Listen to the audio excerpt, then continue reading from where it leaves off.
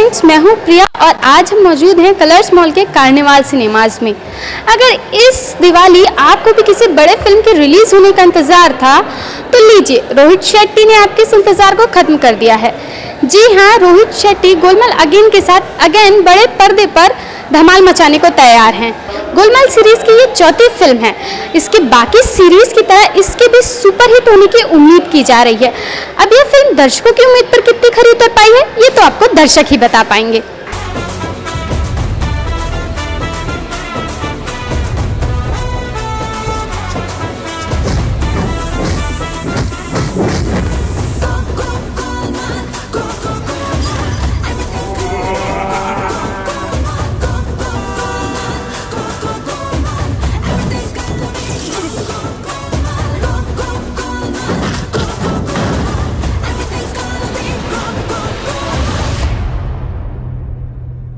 Movie बहुत अच्छी it's was awesome special कि तो मेरी बेटी ने बहुत एंजॉय किया.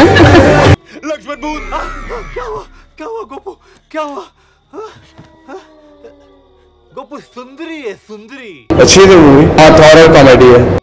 अपनी गली की डॉगी सुंदरी गोपू। मैंने कितनी बार बोला है भूत भूत कुछ नहीं होता। गोपू प्लीज़ देख जैसे क्रिसमस में सब लोग बोलते हैं ना संता आएगा संता आएगा। सबको पता है घंटा आएगा। कॉमेडी रोहित शेट्टी का जो डालते हैं फाइटिंग हो गया। और काफ़ी कोई मिस्ट्री था। ये चेयर ये अपने आप हिल रही थी। बहुत अच्छा लगा। अपने आप? अरे हवा से स्विंग हो रही होगी ना स्टूपिड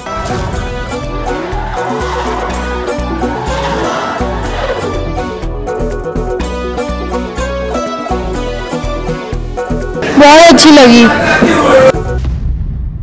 तुम लोगों के घर में आत्मा है। और बहुत अच्छी मूवी थी अच्छी। तुम लोगों के घर में आत्मा है।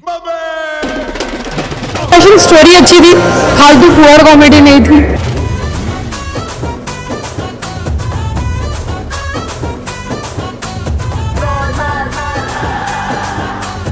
बेस्ट है बेस्ट है. Full comedy full suspense we are enjoy lot पंद्रह दिन हो गए मेरी बेटी को गुजरे हुए।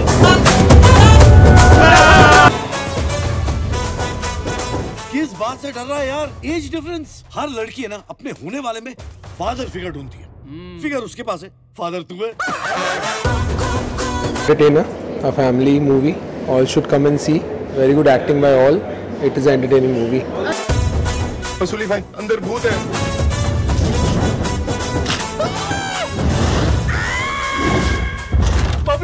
Entertaining है टाइम पास प्लीज़ यहाँ से कल्टी हो जाओ। क्यों? आज टीपी होगा। सबका एक्टिंग बढ़िया था और जो पहला गोलमाल आया था उसके बाद ये गोलमाल ज़्यादा अच्छा है। किस बात से डर रहा है यार? एज डिफरेंस हर लड़की है ना अपने होने वाले में फादर फिगर ढूंढती है। फिगर उसके पास है फादर तू है। जैसा कि आपने सुना कि ये मूवी दर्शकों को बेहद पसंद आ रही है। ये मूवी काफ़ी हद तक दर्शकों को सिनेमा घरों तक खींच लाने में कामयाब हो रही है। अगर आप भी इस दिवाली फ्री बैठे हैं और इन फ्री पलों को एंजॉय करना चाहते